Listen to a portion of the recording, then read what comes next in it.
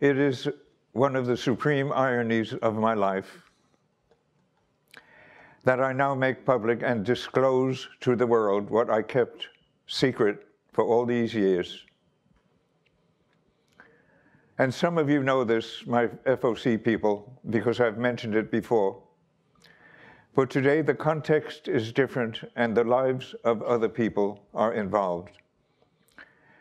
And that is, of course, that I am a gay man.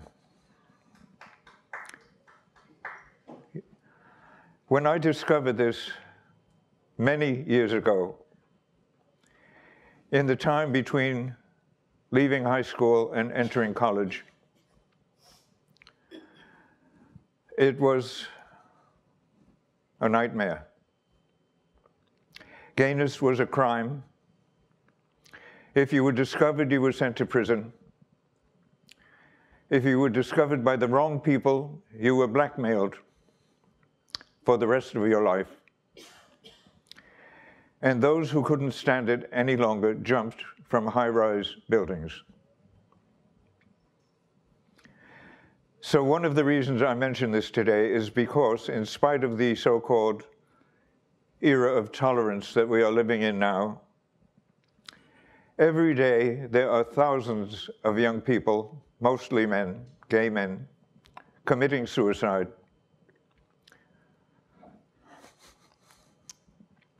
Because their families don't want them, and their communities don't want them but I want them.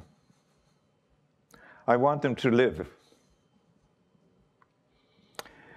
And so I speak for them.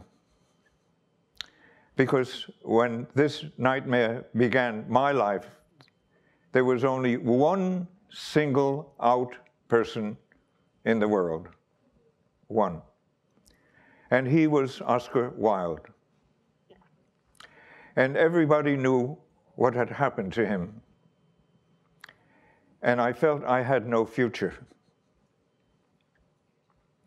And so I began every day for almost the next 20 years trying to kill myself. It was very labor intensive, mentally speaking. And then I decided to postpone it. I thought, well, I'll do it when I'm 30. And so, years later, at college in England, I met a woman who was very distraught. And she felt that if she had a baby, her life would have meaning again. So I am a gallant individual, and I figured, well, I'm going to throw my life away anyway. Let's help her.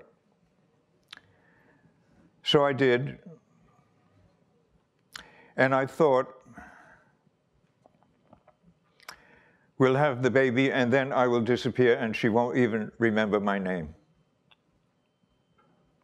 So in due time, we had the baby. Stephen Blackman, the hero of today's lecture. He was very beautiful and very funny. And he became more interesting every single day and we became each other's best friend. And those who were at the exhibit across the hall two summers ago know that he died six years ago now. He was 55, a very distinguished, happy videographer. He loved his work so much that he kept saying he would do it for free because it was so much fun. And I have a friend who said to me, when my son died, I thought I would never be happy again. And I thought that was me also. But to my astonishment, and I cannot figure this out, I'm one of the happiest people I know, and happier even than when I was young. So I'm grateful and very lucky for that. So I have a couple of questions for you. This lecture has been publicized in various ways. So among the FOC people here, who has not met me before? Thank you for coming. Among the library people here, who has not met me before? Thank you. Uh, I guess that I had some more questions, but I can't remember, so you're lucky. okay, I won't talk about first day covers, except to say that in my family, long ago as children, we were stamp collectors, and so we knew what these were. It's a, an envelope with a stamp canceled on the first day that it was sold to the public with the name of the city and the date.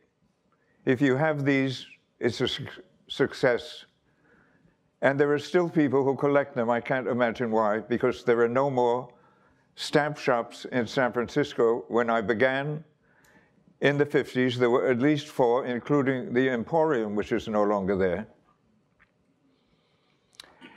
And I believe that every country that issues stamps does this because it makes money for them. They, people buy stamps and they don't use them, so that's a win-win for the government. In this country, they're all canceled at various cities on various dates. And I knew about this because I was working at the time I resumed at Rincon Annex downtown where there was a poster every month on the new stamp that was coming out. And I had remembered in my own case as a child the joy and the exhilaration of receiving my own personal mail. And I know that some of you, roughly about my age, can remember this from your own childhood. And I wanted Stephen to experience this. So at first, his covers go across the bay to Berkeley, and then later, when his mother took him back to England to live, they go back to Oxford. And during the course of his childhood there, he would send me first day covers from England. And ever since he was tiny, he was Big Steve. So he used to call me Big Al. And he addressed all his covers to me, Big Al, etc., etc. San Francisco, California. So if you want to know how to get one of these, then look it up on the web because the procedure has changed several times over the years and I have been away for it now for a while and I don't know what they do, but I'm sure that they still issue first day covers. So I will begin with what you see on the screen, which is for every envelope, I would do a layout on tracing paper. I would put that in my envelope, put it on a light box, and then with color and either a pen or a quill, as we become calligraphers and go on and learn more and more, we learn how to cut feathers to become quills that we can write with. And the advantage for me was that it gives a much finer line on the paper than pen. So the first stamp, I don't remember it. It had something to do with textiles or weaving or something like that. The second one you will see later as an envelope, and the third one is Humphrey Bogart, and you will see that also as an envelope. And we have a great many slides to go, so there will be a break, 15 minutes for you to stand up and stretch and yawn if you haven't been yawning already. And please don't leave because the most interesting ones are in the second half. So now, is this going to work? Okay, the top one, which is a mess, I didn't know to leave it out or keep it in. It's for Moby Dick. Herman Melville, in other words. And for some reason, I used a brush and uh, acrylic because I thought it would give a more watery look. The red one around the circle is for friendship with Morocco, and look how friendly we are with Morocco today. The triangle, I'll talk about that later, you will see it, and the bottom one was again the acrylic. It was, and you will see that as a Christmas stamp. It's one of the most beautiful of them. For foreign stamps, I would always write with my best handwriting to the postal administration of whatever country that was. So the top one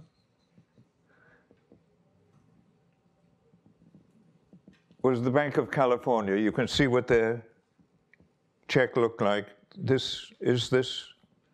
No, this is the back of them. The back of my checks, when they came back to me, were often more interesting than the front. Look how many postal administrations they went through, how many signatures, even a stamp from New Zealand. Now your checks don't come back to you at all. So look what you miss. Okay? Okay, there are two envelopes that I bought because I was there at the time. There was a postal expo in London in 1970, and I saw this envelope, which I thought was gorgeous, as we say. So I wrote my name on the bottom. I had a new, brand new Parker Broadpoint fountain pen in my pocket. That's what I used. And then I handed it in and paid whatever it was. They sent it to Edinburgh, put the stamps on, canceled it, and sent it back to me in San Francisco. There were two at that event. This is one. And I think this is one of their most beautiful stamps of all time historic issues, as you can see. The cancellation is important for them. It is the first one that was ever used. They call this the Maltese Cross. And that was my handwriting in 1970. And this is the first American one, the same handwriting. That stamp is called Flag over the White House. It was six cents. I don't know what it is today.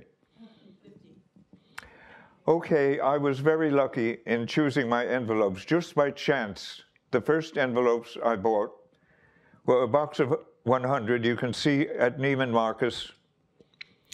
I always chose one of San Francisco's exclusive department stores because I like the way they emboss the envelope. That means almost as much to me as my writing on the front, because I'm a snob. And you can see all those marks are all the postal canceling machines that this went through in order to come back to me. This is again an early one.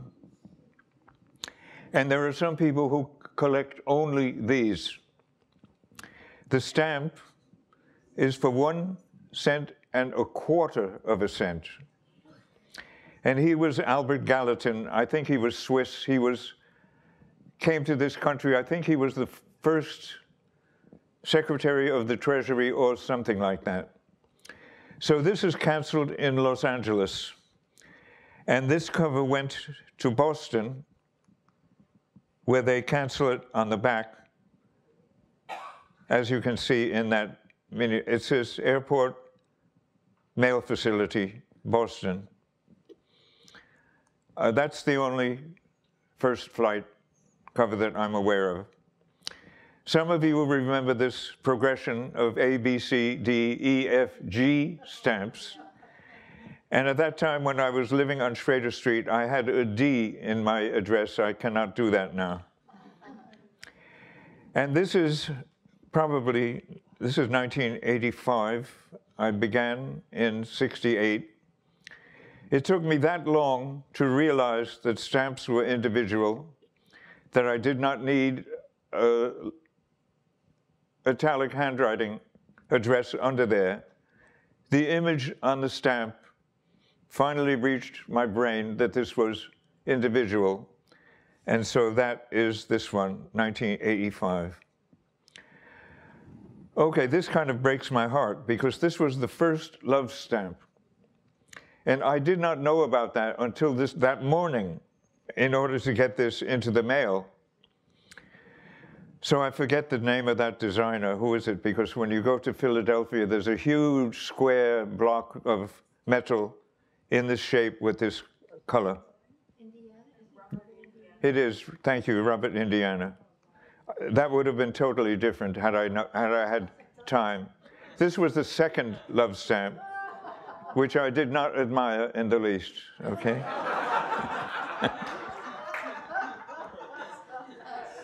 This one, along the way, I stole this lettering style from one of our FOC members, a fellow named Peter Bailey. You may recognize him from being Red Dog Pie Face in On the Road by Jack Kerouac. He lived here in the Zen Center, and he had on his wall a piece of lettering that he designed that when you looked at it, it looked like grass, the whole thing. It was mind boggling. And when you looked long enough, you could read it. It was a poem. It said, Where is the wind to lull the grass that deer may pause to drink? And so, Peter, this is in your honor, Red Dog.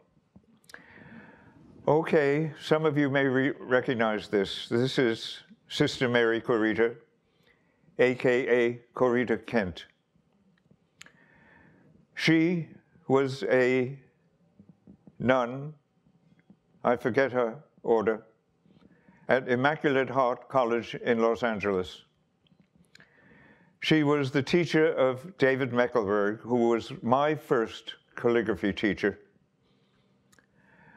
And she was famous at the time for these wild silkscreen pieces that she designed. You know, Life magazine, and then Mahatma Gandhi down there, and then Wonder Bread, and then uh, Franklin Roosevelt, etc., etc. They were wildly sold throughout California and probably the country and maybe the world. Now they are collector's items. So she designed this. And I had several covers that I did for myself. And I did one for her because she was coming to Oakland to an exhibit. And I thought I would go this and have her autograph it with my other ones because collectors are thrilled when they can get the signature of the designer of the stamp on their envelope. But she didn't come. She was beginning to be very ill in Boston as an art director, Corita Kent, and she died. So she never saw this. So this, I guess, is now dedicated to her. This was another, I don't know how many of you are remembering these stamps, but they all appeared during your lifetimes as well as mine. And I don't know where I had the patience to do this because I don't think I could do it now. There's another similar one later on. Okay, here's the design that you saw. I could see Linn's Stamp News was a publication from Sidney, Ohio, that came out every week, and I could see what was coming out. And so I saw this cancellation, and of course I wanted it, and so I designed this. The next year they repeated it again, but I, I did not get that. This is the first of the Pride cancellations. Organizations had been battling the US government to please have a Pride cancellation. And finally, they got this one. I went to the US Stamp Company on Bush Street downtown to get the Walt Whitman stamp. They're not there anymore. And the people who decide this, there is a stamp advisory something council. When I looked at it, it, there were 25 people. And one is always famous, usually like a football player or a sportsman. And to be a member of the Stamp Citizens Advisory Board, there are three qualifications. You have to hate postage stamps. You have to have failed art history. and you have to be blind. that way they will take you to be one of their own. And so you will be partly re- responsible for the next batch of, of US stamps. Okay, I'm very fond of the Gold Nugget Days from Paradise, California. And I went to the stamp shop to get the California stamp from 1930.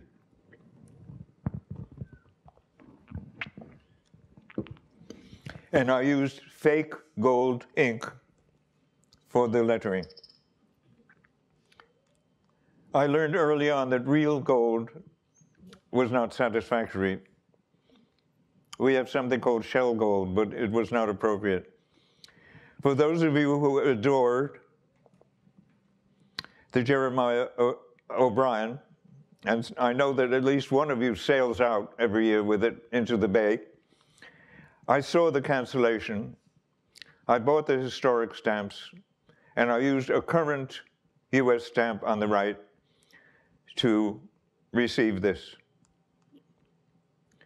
This is Death Ride Station from Markleeville, California.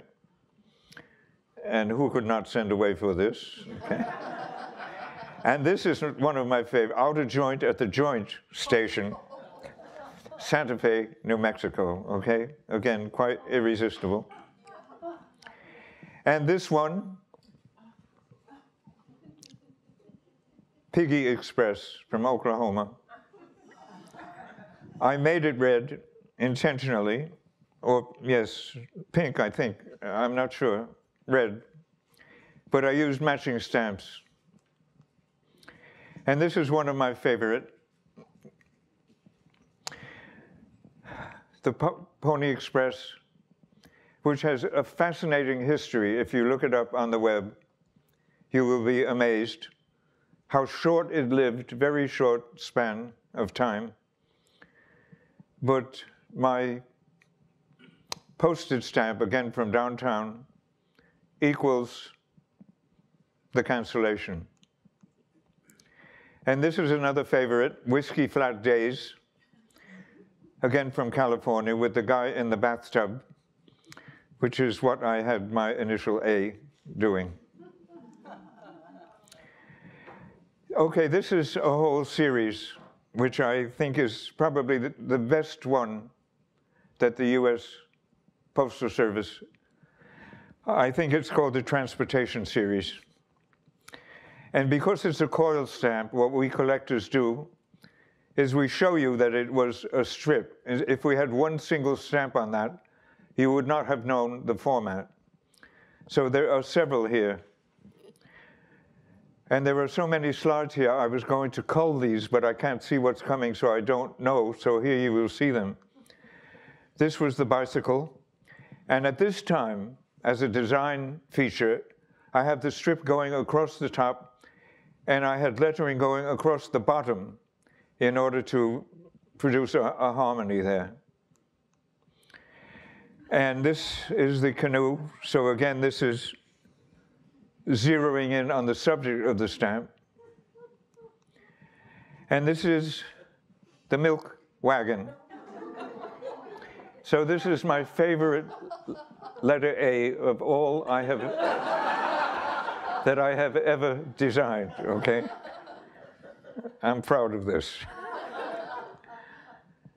This is another format. These, and this was equally fascinating. I don't know what they called it, probably famous Americans. So I don't remember if this is the first or not. But this was Audubon.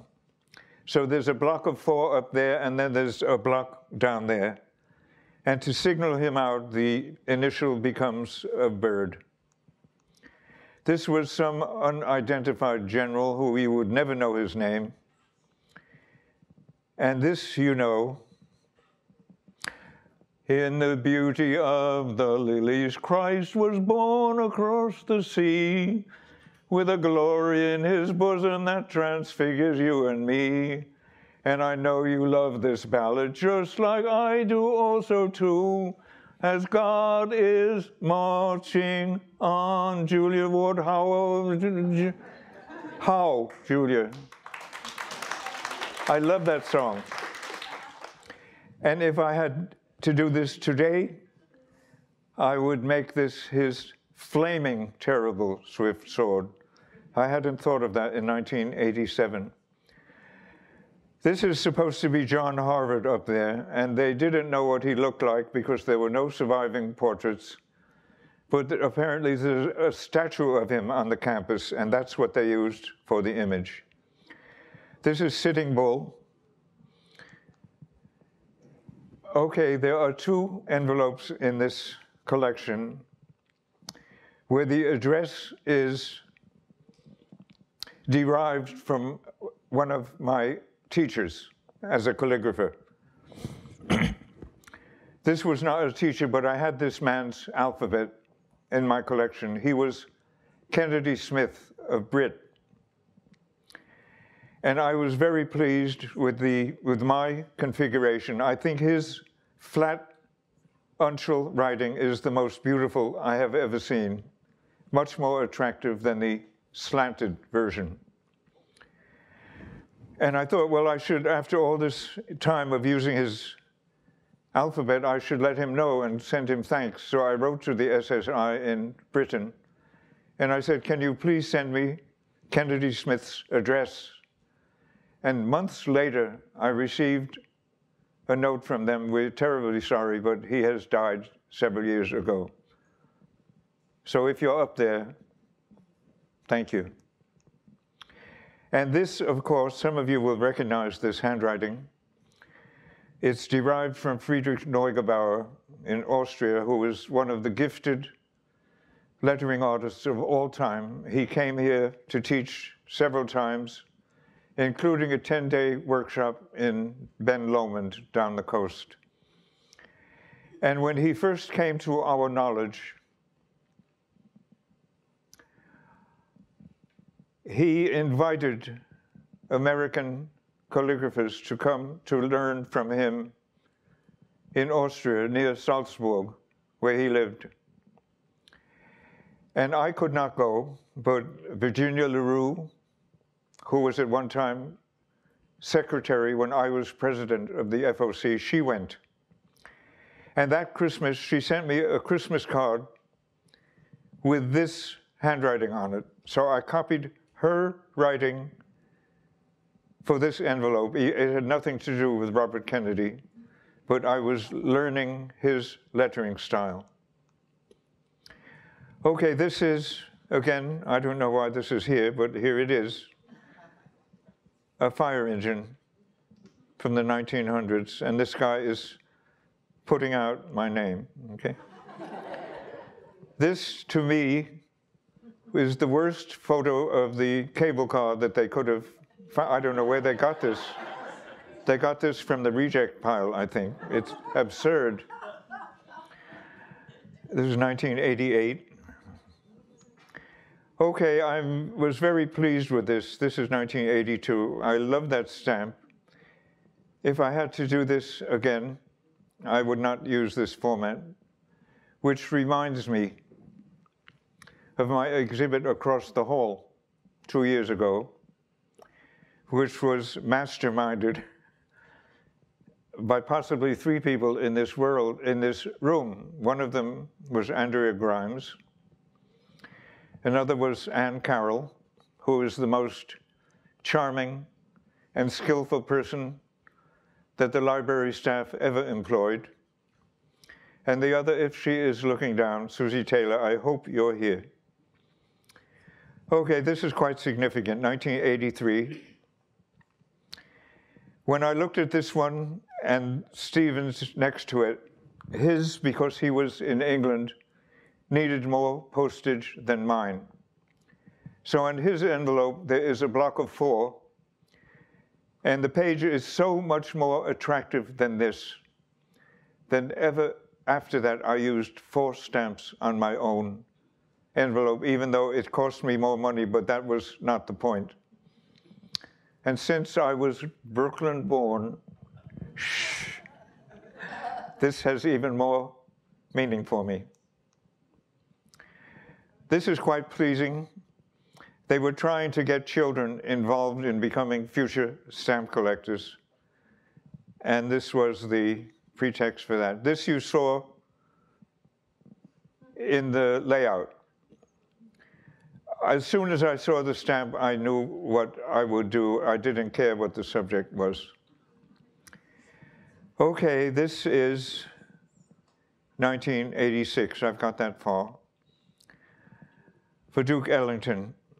I had forgotten what a piano looked like, so I went back to look at one. And these keys are actually accurate. You can play this if you wish. and get St. Louis blues or something like that. And this is Louis Armstrong leading his people through the streets of Memphis, Tennessee, or wherever. And because this also was a band situation, there are more. I don't remember exactly when these little people began appearing in my lettering, but there they are. Okay, this is the fellow who designed the Statue of Liberty, Bartholdi. This belongs actually with another one you will see soon of Saint Junipero Serra. I did the two at the same time, using almost the same layout. And this in Shelburne, Vermont, there is a museum of duck decoys. this is friendship with Morocco. And I was quite pleased to be able to Islamophile the address. How friendly are we? Okay, this is probably the ugliest stamp that the post office has ever designed. I don't know if it helped hunger in any way. And I almost never used uh, the brush in designing these envelopes. I didn't have the confidence, even though it was my, quote, signature lettering tool. I began with the lettering brush. But I thought this was more or less harmonious with the block of stamps up there. Here's Herman Melville again. And this is the other butterfly, or at least this is the first. Have we had this? I don't remember. This was ostensibly for the International Year of the Child, 1985. This is, again, the little people. And Knute Rockne was a world famous athlete, as was Lou Gehrig from Cooperstown, New York, and Hemingway from Key West, Florida, now partially wiped off the map from the last hurricane. And probably nobody, even golfers probably don't know this man's name, Francis Ouimet. Ouimet?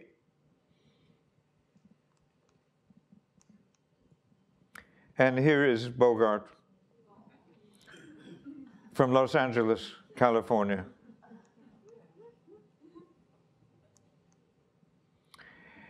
And this is Republic of Statehood from Washington on the Brazos. So this is a Yankee shooting at a peon sitting there, poor man, duking it out.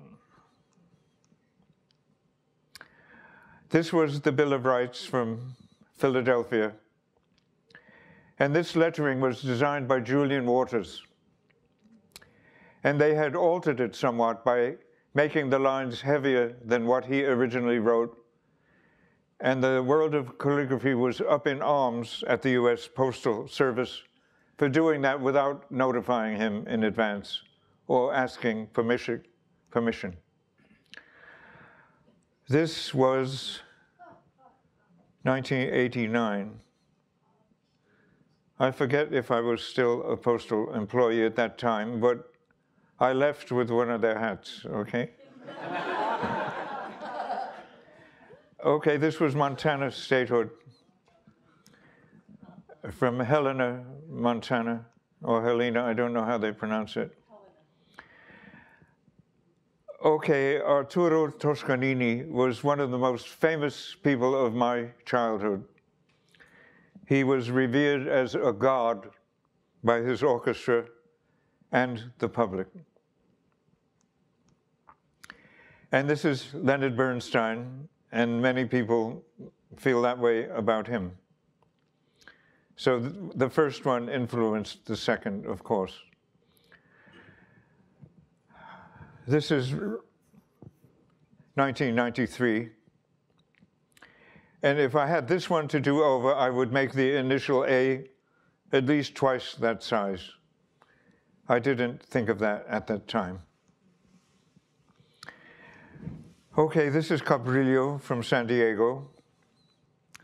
And I was very happy to be able to get all of these letters into a format that looked like this. And I think this is still the US postage most popular stamp of all time. It was when it was being sold, and I think it still is. And I didn't know until I taught a class in Memphis, Tennessee, and my hostess drove me to Graceland. And this cancellation is the metal gates at the entrance to Graceland. And you can see him playing the guitar there if you look closely. This was 1993. And this one is the only envelope that is not canceled. Because the Stamp News had a little notice that the first day cover club of, I guess, Tennessee, had prepared a cancellation with Elvis Presley's name in the shape of a guitar. And wow, I wanted to see that. So I designed these two envelopes for us and sent this off. And it came back with a note, we are terribly sorry, but the Elvis Presley Foundation did not authorize this, and so we are not doing it.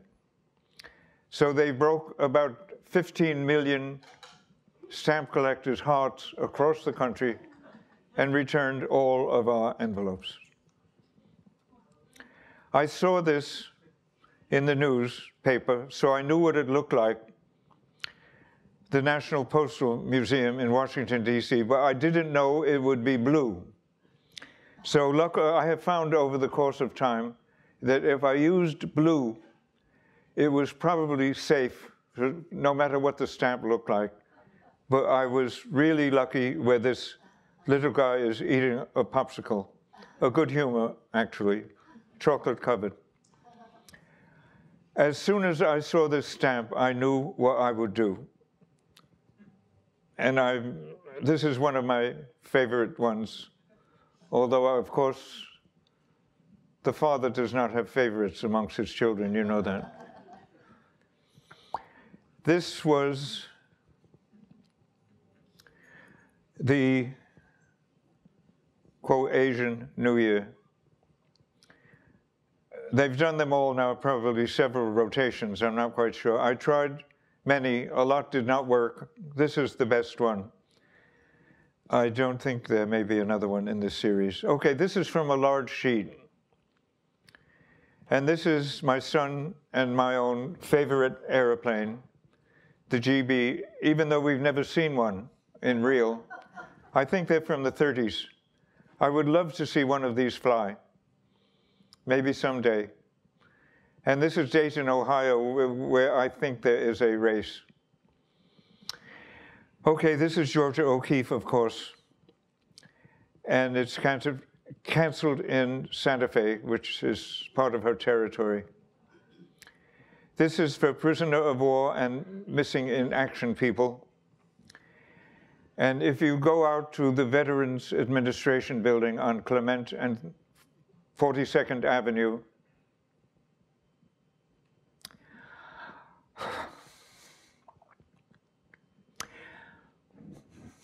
you will see that they fly the flag for the missing in action people. And once every while, they find the remains of one and dig it up and send it home, or a prisoner of, war. Uh, this is so obvious, I don't have to tell you what it is, but it reminds me of many years ago, Neiman Marcus, which is birthed in Texas, either Dallas or Houston, I forget. For their Christmas calendar, they had a fruitcake designed in the shape of Texas, which was the most beautiful I had ever seen. So I sent for one, no matter the astronomical price I had to pay. And I hoped that they would do it every year, but they only did it that once. It looked exactly like this, okay?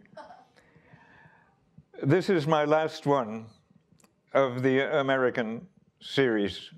And you will remember the hearts in San Francisco. At every street corner, there was one decorated by a local artist. So this was the best I could do. I used what's called Frisket or rub out or something. It's like rubber cement. You write with it, you color over it, and then you erase, and then you see your white lettering. It's very crude, but there it is. Okay, this is self-explanatory from the San Diego Zoo, canceled in San Diego. This is the one that we saw before for Bartholdi. This is now Saint Junipero Serra. Many people love him and many people hate him, and you know the reasons for that. Okay, this, to my knowledge, was the first of the Walt Disney stamps, of now there have been a billion. But this is not from the US, this is from the tiny republic of San Marino in Italy. And I show this because this is what happens when it's registered and it comes to your doorstep and you're not home and so your postal man writes on the bottom, note left, no response. 1 1571, okay? And this is another. This comes back from Iceland. You're not home. It says final notice, no response, 33070 with his initials. Okay. You learn to live with that. This is what happens when it's a one cent stamp and the postage is 24 cents or something like that. What, what are you going to do? Okay. Again, it's from the transportation series. I'll go very quickly through these. These were, uh, there was a, a sheet of 35. At that time, there were 35 presidents. So this I tried to modernize my handwriting to fit Franklin Roosevelt, sort of Art Deco thing. This is my most formal italic handwriting. And this is sort of rustic capitals. And this is a lettering style I'm very fond of called civilité, which I hope to master someday. And it's canceled in Quincy, Massachusetts. A lot of these birthplaces are no longer there because the, the towns have changed. They don't exist anymore. So they chose the closest one that they could find.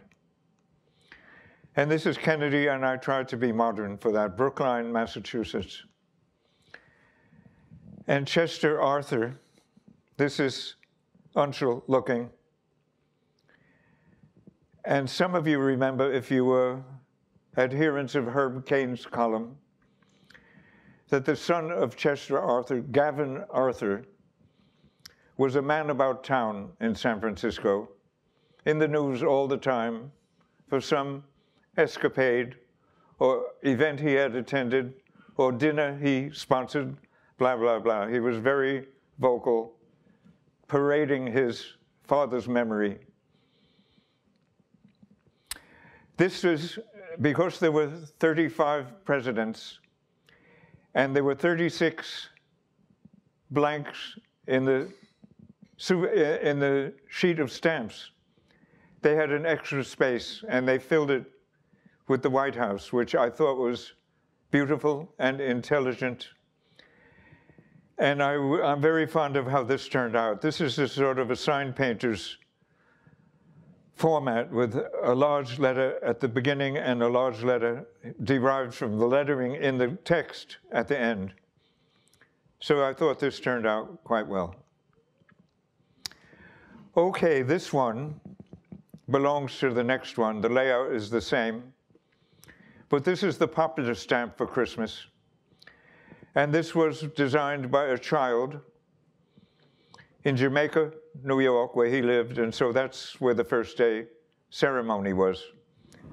They were hoping again to get children to become future stamp collectors.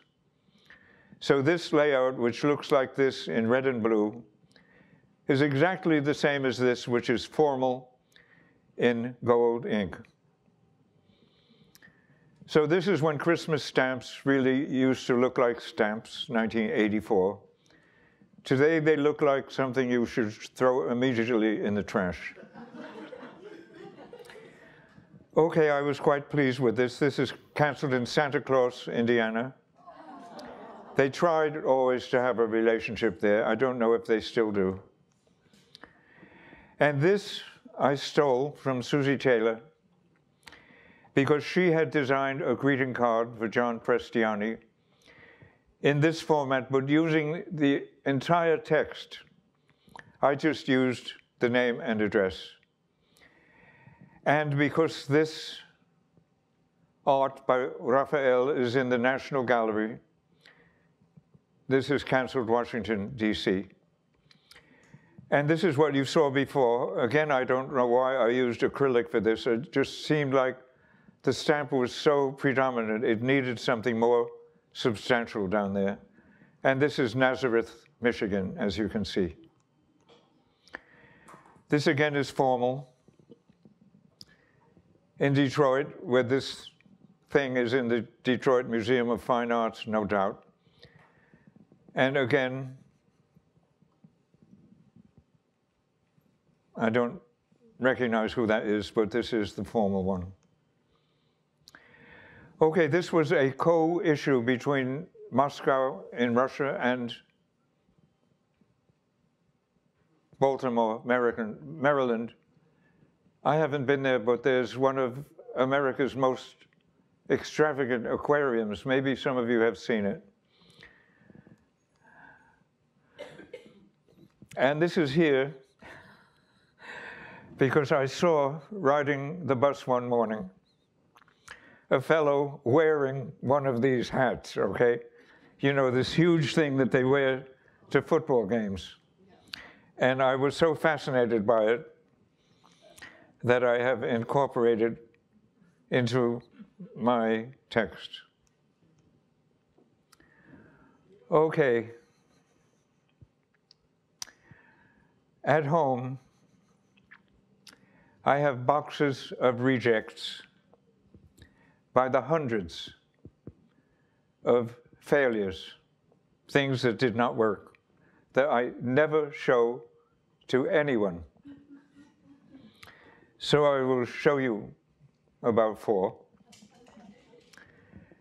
And then you will promise never to tell anyone that you've seen them. So this has nothing to do with anything, certainly not Crazy Horse. But I wanted some sort of a something that was different from my usual italic, okay? I went through several crises, of which this is just one. So this is one, and this is another, the same because I had the layout. Uh, words fail me, as you can see. I didn't have, the word street is not even in there. Good Lord. Okay, I have to have a terrible apology now. Because for the Black History series, all of the stamps from beginning to end, and there have been zillions of them, are hideous. They have really been putting black people down by issuing ugly stamps. And I was perplexed by the theory of blackness. In my text, I thought, well, how can I equal that? It dawned on me about two days ago that why didn't you figure out who she was? Was she a writer? You could have had writing. Was she a nurse? Was she a scientist? I could have used the subject matter. Never dawned on me. It was always blackness. They were always terrible. Again, since I am, quote, a victim, I will say patient of the Veterans Administration out here, on 42nd Avenue and Clement, where you see that logo as you approach. I could have done wonders with this. I don't know why I didn't think of it. Was I hating them that time? I don't think so. I've given that up. 19. Anyway, okay. This is before I met Ward Dunham. So please don't tell anybody you've ever seen this, okay? Okay, we've reached Australia. I don't know how the time goes. I think we can finish. So stand up and stretch and relax for five minutes. I will set my never fail iPhone. ha ha. Okay, this I think is beginning Australia. And this is not really a stamp, technically. This is a seal. There were several, probably four or five or more.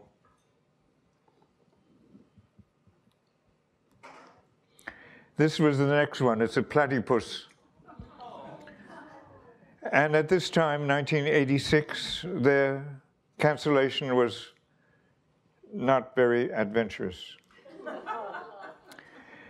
This was, to my knowledge, the first skateboard on a postage stamp. These are Australia for a while. And there's also a hang glider, and you see that in the cancellation, so they have advanced that. Okay, this is one of my favorite series of all times. There are four of them. This was New Zealand's first round stamp. So I had the layout. This is actually the second one. 1997. This was the first, 1988. I thought this was so beautiful. The stamp with the kiwi and the detailed engraving and the circularness. There was once an, instru an instructor on the Berkeley campus who taught a class design within the circle. He would love this. This is one of the next. And so I matched the color. And this is probably the last, I don't recall. So I, these are quite, I'm about to say breathtaking, but that's praising my own work. We're not supposed to do that. We're supposed to be shy and say, oh, it's just terrible.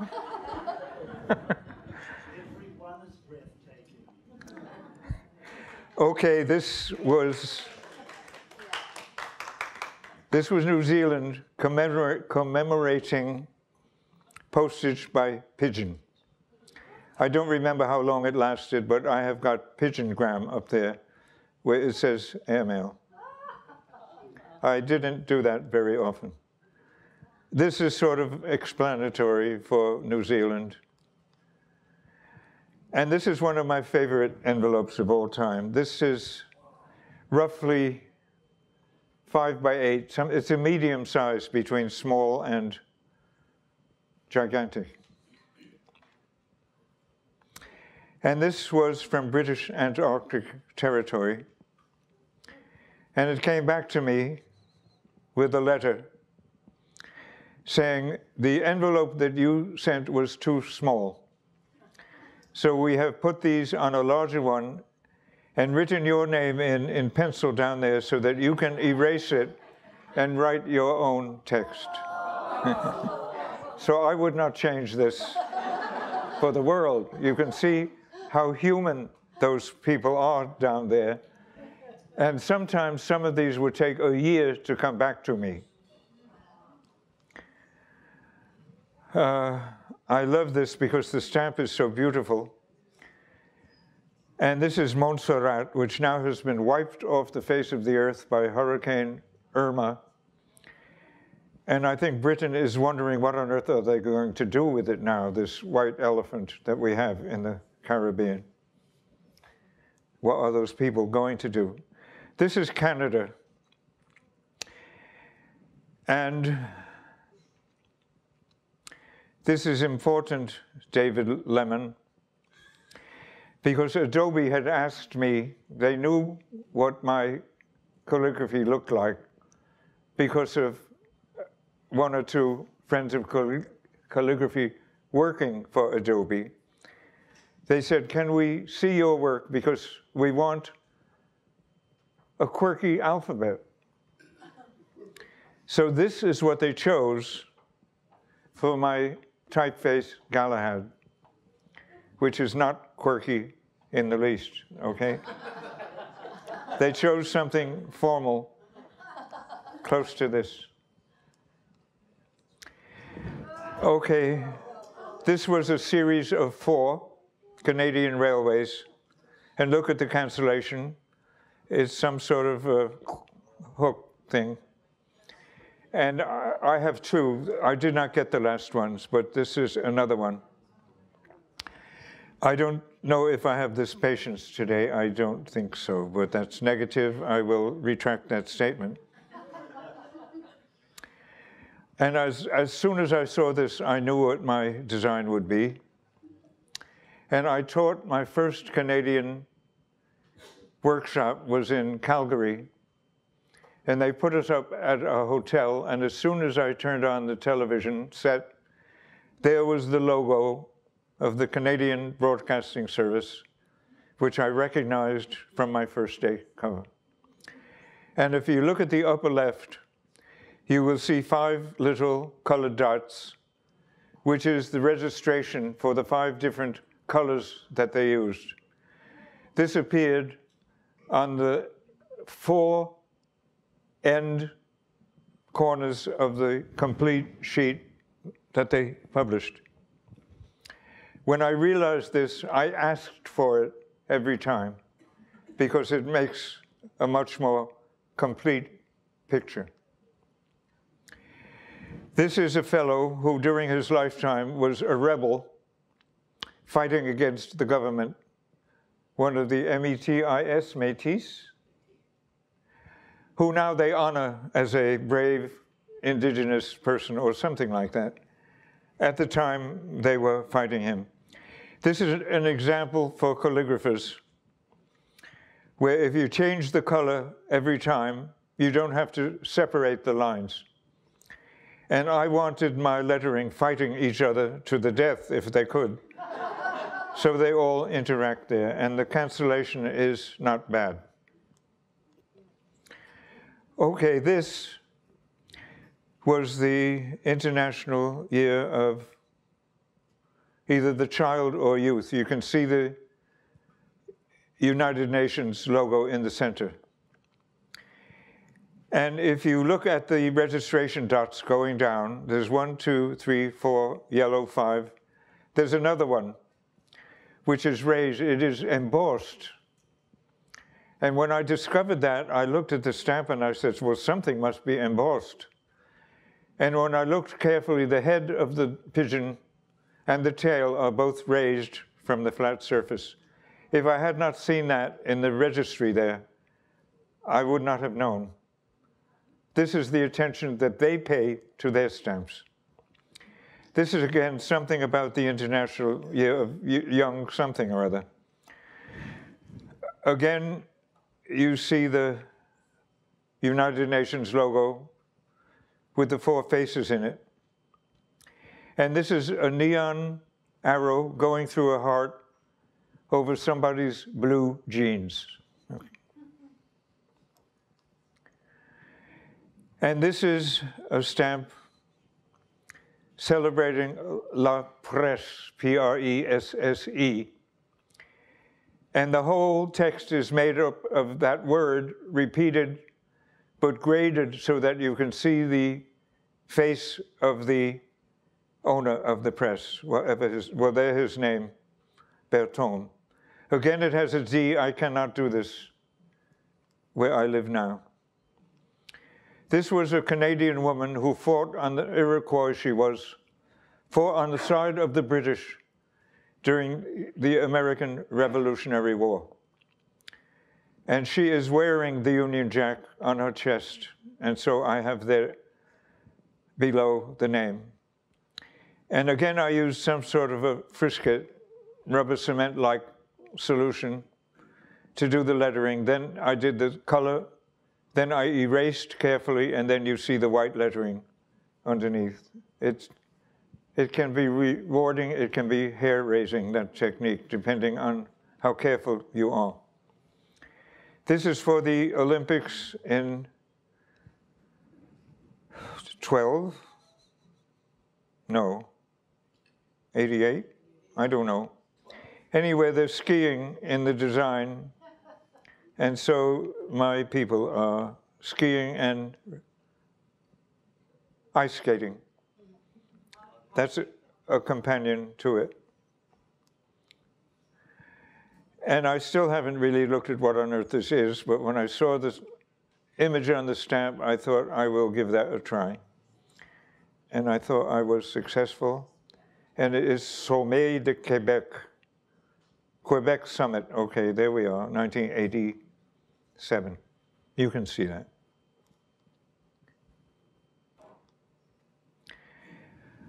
This is Canadian technology, and I thought this was one of my best covers ever. I'm really pleased with this. And this is the first Braille stamp that I know. There have been more, but I have not seen them.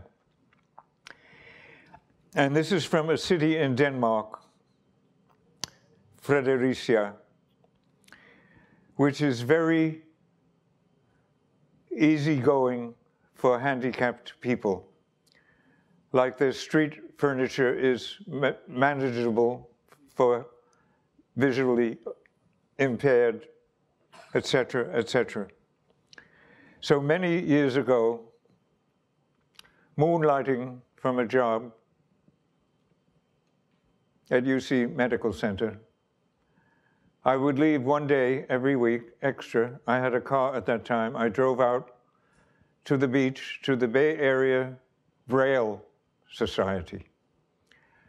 I thought if I could learn Braille, it would help my calligraphy, maybe, because I was in distress at that time. And so for these envelopes, I sort of took them apart, reversed them, and I punched the lettering in to be my name and Stevens. And I realized years later that I made a mistake because for a capital letter, which my A is, I should have had another dot in front. So here I am in lowercase braille letters. Okay, this is 9 by 12. It's quite huge. And I cannot do flourishes like some of my brilliant colleagues do. I'm green up here with envy. They just dash it off as they're writing. I have to have a layout exactly penciled in, and then I will meticulously go over it with my pointed pen nib. So I wanted this because these are famous graphic designers of Finland. And probably Finns don't even know who they are, but I did because they were mentioned in the newspaper, in the stamp news. This is for Andrea Grimes because she is infatuated with the Moomin as I am, how many of you are infatuated by Moomins? One, two, look how many hands. Okay, well, this is a card, it's not an envelope. I had to design the label, which you see with a Moomin on it, send it to them with the money, and then they put it on this card and send it back to me. Okay, this was a stroke of luck. Because this stamp, and France issues one of these huge stamps, I think every year. This is the only one I have. They are breathtaking. I saw the stamp in Linn's Stamp News, but it was in black and white. And I thought, I want that. So I designed the configuration, and I usually have good luck designing red, blue, and green. Usually whatever it is will turn out to be presentable. So I started with that, and then by a whim, I don't know why I choose yellow, but I did. And it turned out to be exactly what's on the stamp which was one of my great strokes of good luck. And you see the cancellation. It's a window in the Cathedral of Strasbourg. And this is also from the Council of Europe in Strasbourg. For these, I had to send a bank draft. A check would not suffice. And when we looked carefully with a microscope, a magnifying glass, what's coming out of there is a child's shoe. So there comes my A. I'm very happy with this address. I think these three stamps, uh, red, blue, and green, really beautiful. There are several of these. This is issued every year by the French Antarctic Territory. And this took a year to come back because I think they only had a ship that goes down there once a year. And this envelope, which is something like five by eight inches, I designed this for the commemorative stamp of Princess Grace of Monaco. And somehow it was returned to me blank with the stamp and a souvenir sheet and something else. I forget why my envelope was not sufficient for them. But I had to act in a hurry. I sent it off to the South Pacific, and it worked. And these are sort of the stamps of what they look like in our childhood. I will say our, because some of you are almost in the same age bracket. This was next year, again, where they are real stamps designed, engraved with meticulous care, and I kept the same format. And this was questionable for a long time. Shall I leave it in or take it out? We looked at it the other day. And the stamps are from Holland, Nederland. And even though the lettering is geometric, it has nothing to do with the stamps. And I thought, why didn't I make a great big blue A in the front or fill in these circles with color? This is what you learn in later, whatever that's called. This is Germany, 50 years of the stamp, of the postage stamp.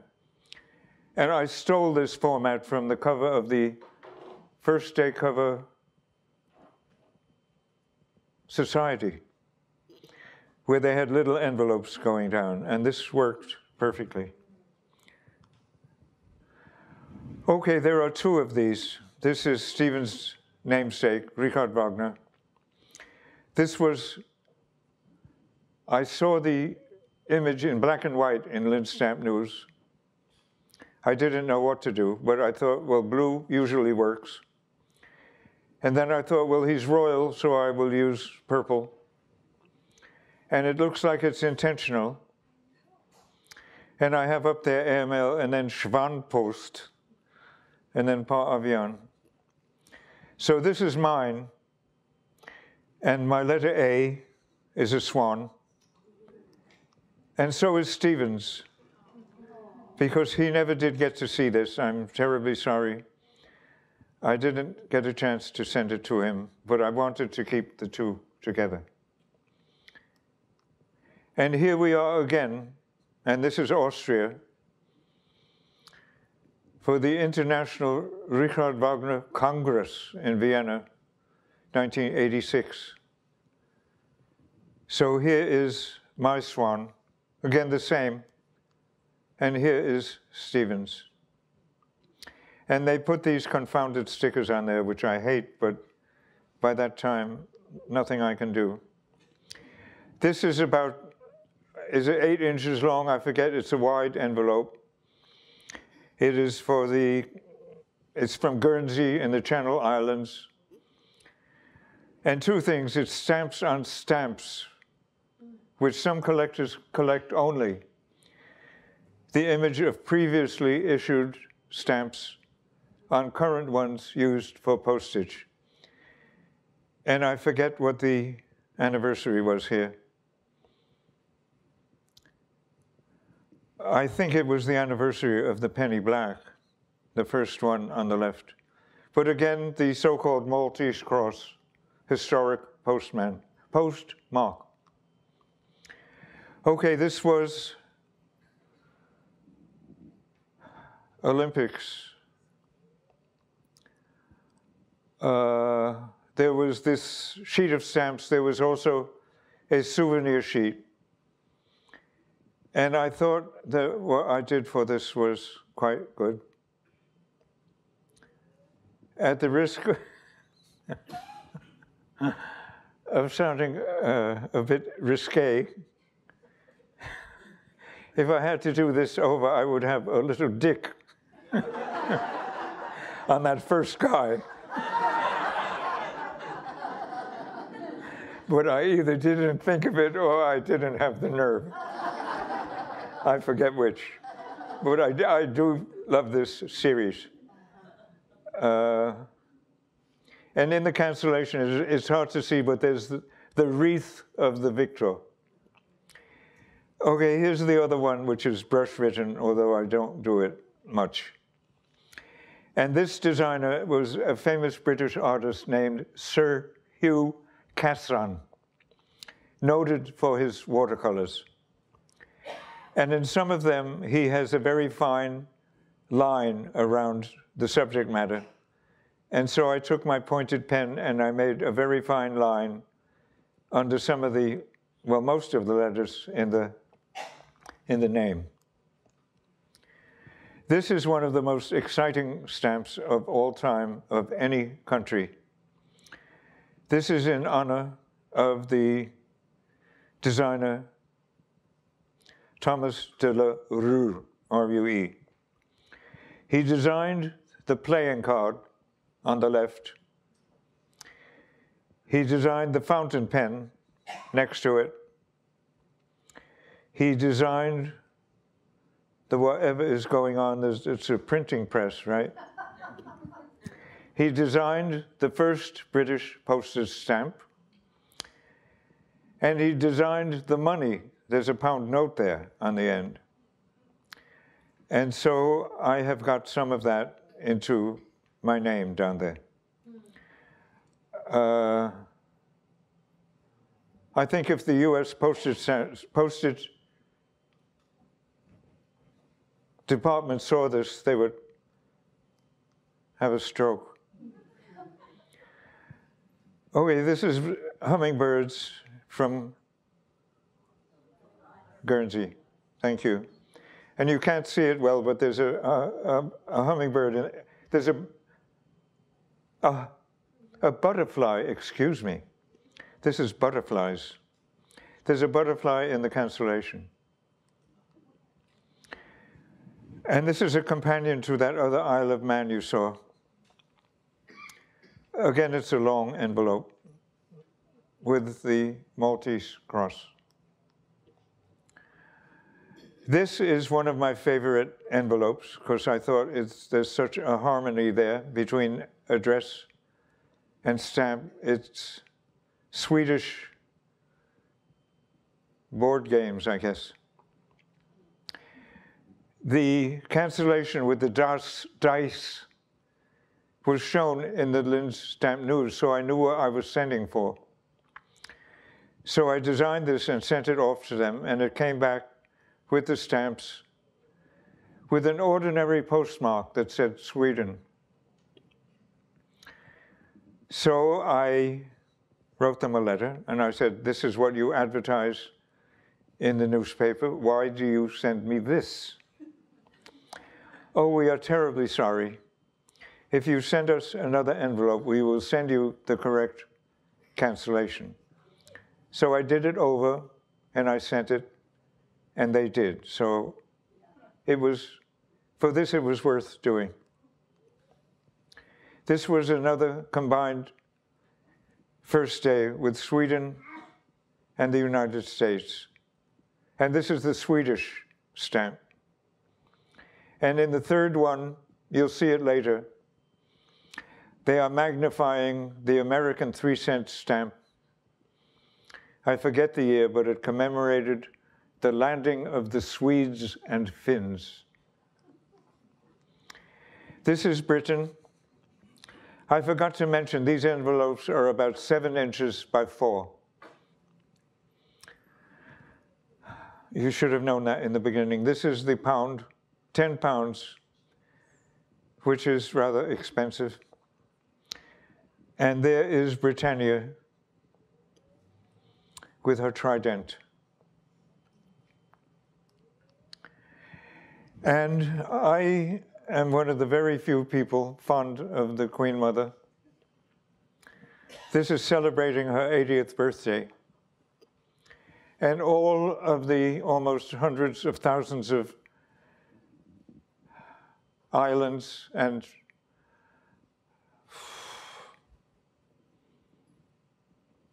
territories that Britain owned, they all brought out stamps in her honor. And I have a four or five.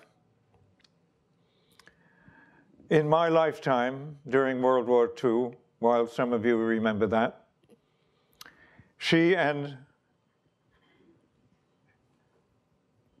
her husband, George the Sixth, they stayed in Britain during the bombing when other royalties in other countries fled. They had tremendous, tremendous courage, and I respect her for that. Here she is in the cycle of her life a girl, a woman, a queen, a queen mother cancelled in Edinburgh as Britain does. I thought this, I like to look at this cover. I'm proud of her. She, she became a figure of fun as she got older and was ridiculed hugely in the British press. this is a format that Britain brings out frequently of the useful stamps and in the middle, the reason for them. So this is for, excuse me, Agatha Christie, Queen of Crime. And you can see there's the keyhole that the bad man is peeping through.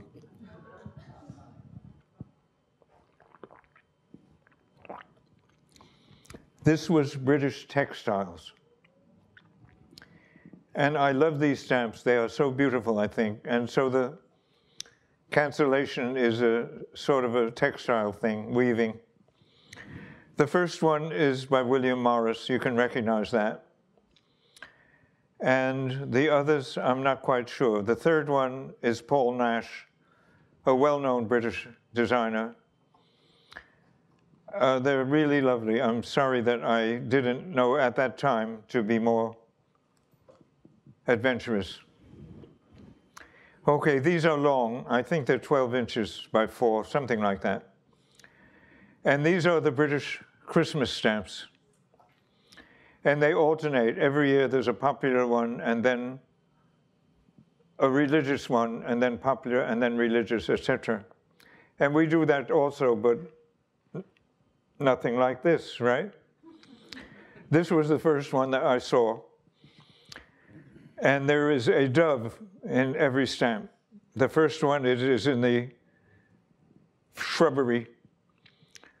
The next one, it is on that lamppost. Then it's under that umbrella, there are two. Then amongst those Victorian chimney pots. And then they're flying the mail into the post box. This is a triumph of design in my estimation. This was, I guess, the carnival, the next, a popular year with Aladdin's lamp. And then there's more popular with them bringing the Christmas tree home, etc. And then British cathedrals. This would be the religious one. Okay, now we have a series of ordinary British stamps. This was fireworks. They actually built these things and then set them off and then photographed them. And then here they are on stamps. This was British photography. They chose this fellow who specialized in flowers and as soon as I saw these, I knew what I would do. And there is a bumblebee. You can see that in the cancellation. This is British Toys. And again, most of these are cancelled in Edinburgh. And this is a favorite. The anniversary of the Greenwich Meridian. You can see where it is in the constellation, three feet, blah, blah, blah, 57 degrees west. In the first one, the meridian is going through the telescope. In the second one, it's going through the building. In the third one, it's going through the city on the map of Britain. And in the last one, it is circling the globe. And I thought that my design was okay, but if I could do that now, I would have the red line going from the bottom out of the page up out of the page. I didn't have that awareness when this came out. But I think this, the stamps are a triumph of design. Some of you will remember this. It's Halley's Comet. As the comet used to be depicted on historic manuscripts. There it is in the cancellation. And these were, were designed by Ralph, Ralph, Ralph Steadman, one of the quirkiest designers in the profession. and if some of you can remember his book, Fear and Loathing in Las Vegas, you will remember what his work looks like.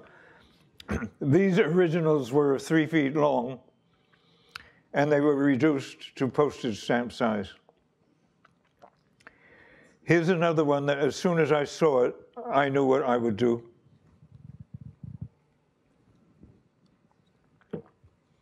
It is commemorating Isaac Newton, and there is the apple falling in the cancellation.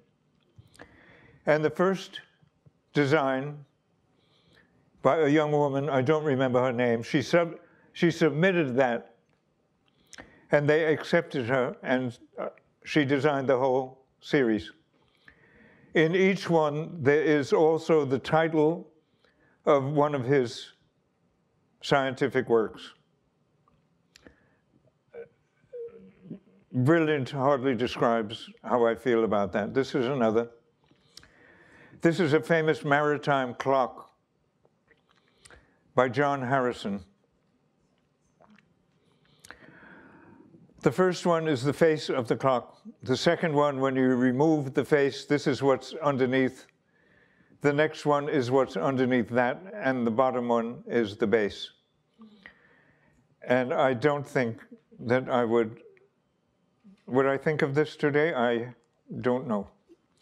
This is one of my favorites.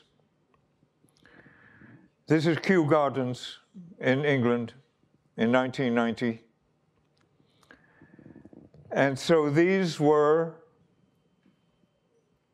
Staedtler watercolor pencils where I would just maneuver the tip of the pencil until I made it ink-like, and then I would feed it through my pen nib and fill in the shapes down below. And they have these exotic colors like the pink and the lavender, which is in the stamps. Did I know that? I, yes, I did know that because I saw it. The stamp bulletin that Britain sends out is in color. At least it was at that time. I don't, I don't know now, but I would think so because I still get the bulletin from Australia every four months. I get the one from Belgium and Luxembourg and can not Canada anymore, but almost. So I do know what's coming out and I see it. I think this is one of the most exciting issues of all time. This is King Arthur. And you can see the Holy Grail in the cancellation. What a remarkable way to depict that. So you can read on each one on the left what they are. Galahad, my typeface. Guinevere and Lancelot, that's poor, whatever her name is, from the movie who got involved with the, that Italian guy. Oh, Vanessa Redgrave, there we go. okay, the Lady of the Lake is the next one, and then there is Lancelot, uh, Arthur himself, and Merlin. Beautiful. Here's another favorite, of course. This is an ordnance map of the same town, Ham Street in England.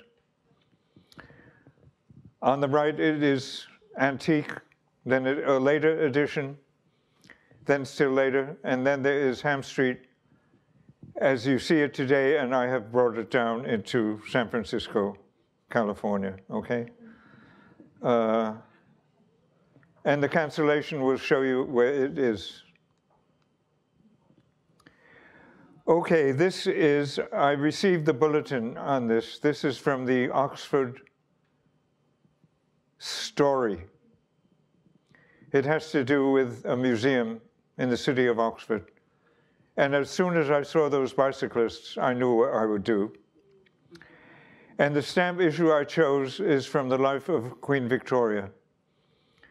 And you can't get any more Victorian than that. There she is elderly, then younger, then as a young queen, and then as a maiden.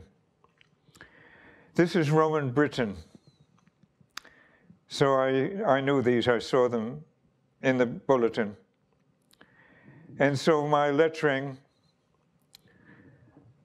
is what is called in historic lettering boustrophedon writing as the ox plows in the field. It goes from left to right, and then the next line is from right to left, and then the next from uh, reversed, and then again reversed on the bottom. So I did that. And I thought this was a good unity. Okay, this is the Brit Britain calls these countries. The countries are Scotland, Wales, Ireland, and England. I thought the stamps would be large, so I left all that space up there. And the next one is the mate to it, which is this. And again, I used the Welsh dragon down there. So I thought I was not bad, but they kind of didn't follow, follow through. Okay, this is a souvenir sheet and it was called Smiles. and they repeated this more than once. So you will recognize several. There's the Mona Lisa in the middle down there, the teddy bear on top, There's Punch and Judy in the middle. Next to him is the Cheshire Cat from Alice in Wonderland. And there's Laurel and Hardy down in the lower right, okay? And in the cancellation, somebody is getting a pie smashed in their, in their face, okay? this is in honor of the St. John Ambulance Corps. It's one of my favorites. As soon as I saw this, I knew what I would try to do. And this is 1987. Okay, this is another category of which I don't have many, but this is manuscripts on stamps. And these are famous for Yugoslavia,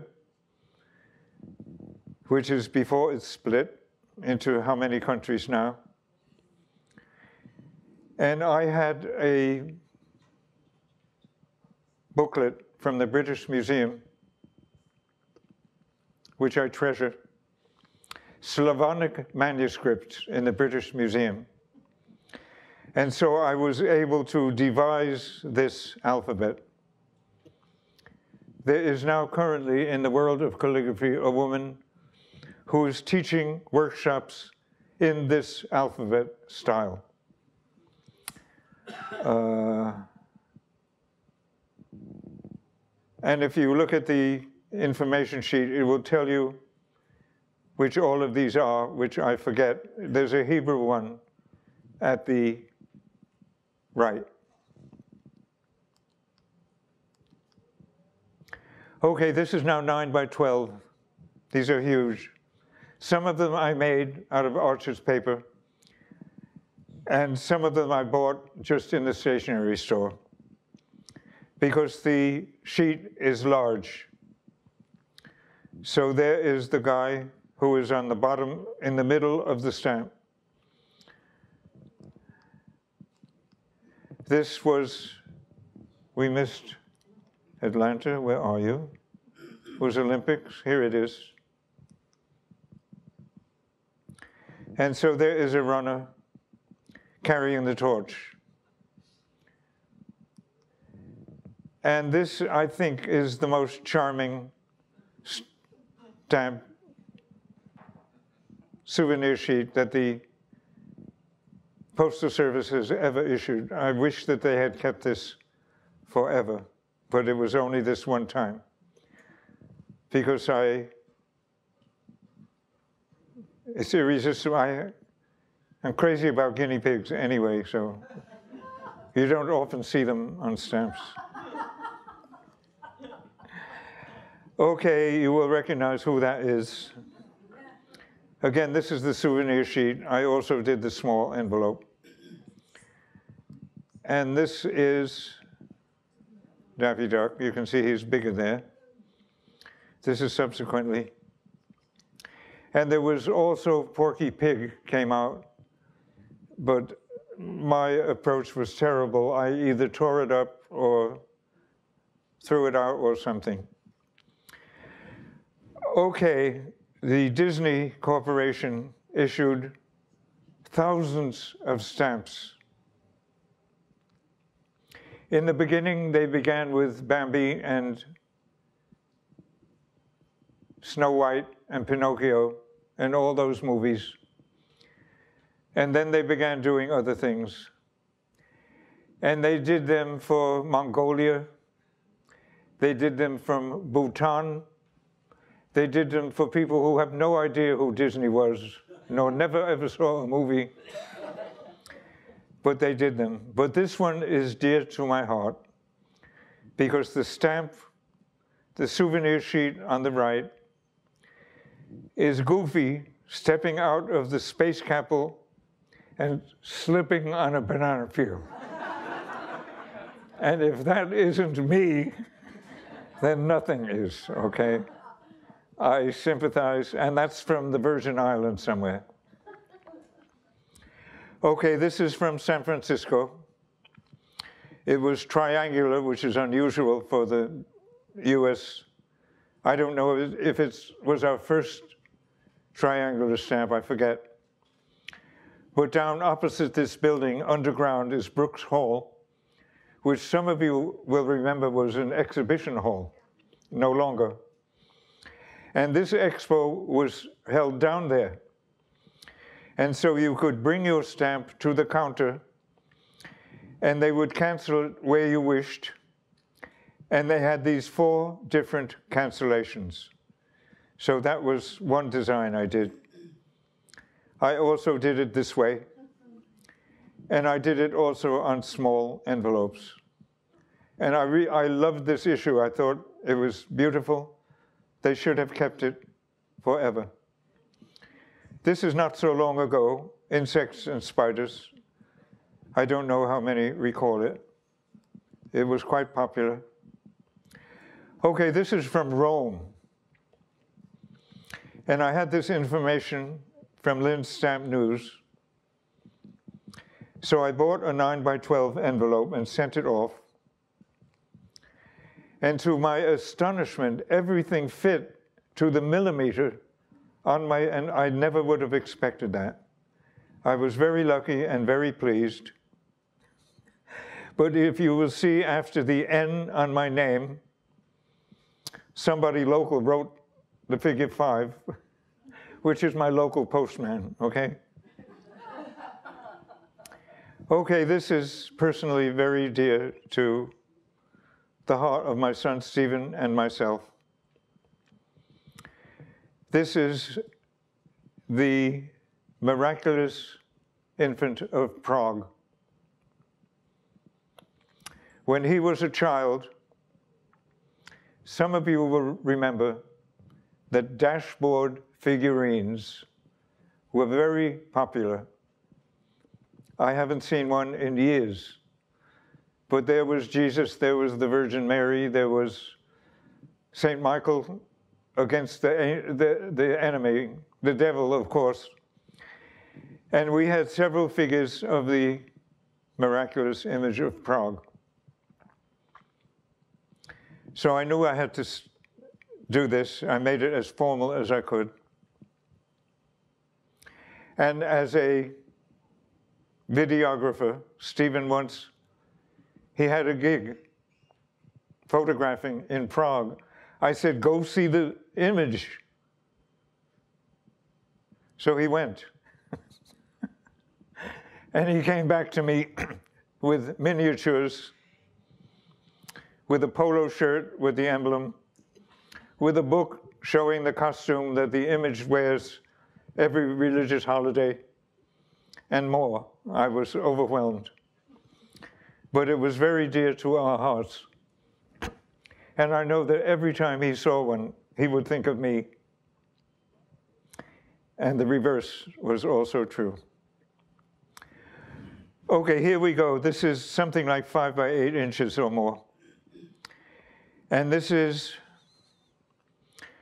a first day cover between Sweden on the left, America on the top right, and Finland on the bottom. And the three cancellations are here. And on the left, you will recognize Jenny Lind in the middle and Charles Lindbergh. I don't know why he's there, but there is a connection.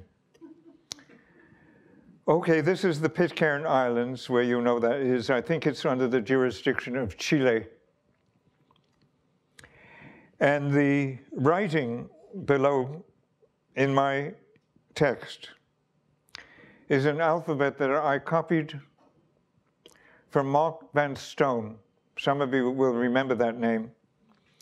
He had sent me something like this from Texas or wherever he was. He's gone into the Mayan alphabet uh, subsequently. But his writing looked like this, and so does mine. And this is Sweden and the circus, and because that acrobat in the middle is upside down, so is my A, and there's a trapezist. She's above the horse, I see, on the right. And there's a seal balancing balls in the cancellation. Okay, this is, if you look on the block on the right, you will see a banana. And I believe this is the first of the stamps that were produced as shapes instead of square as a postage stamp.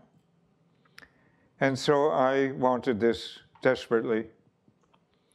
And there it is. And if I had to do this now, instead of a pineapple down there, why did I not have a banana? I have no idea.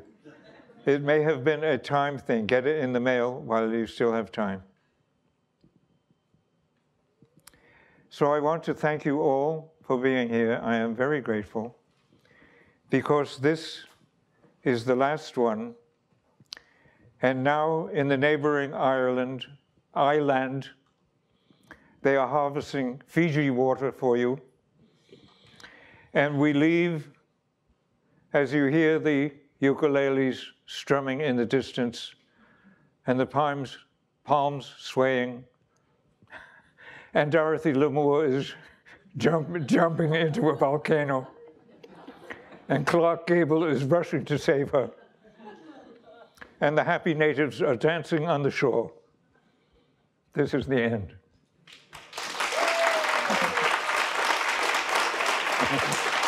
Thank you.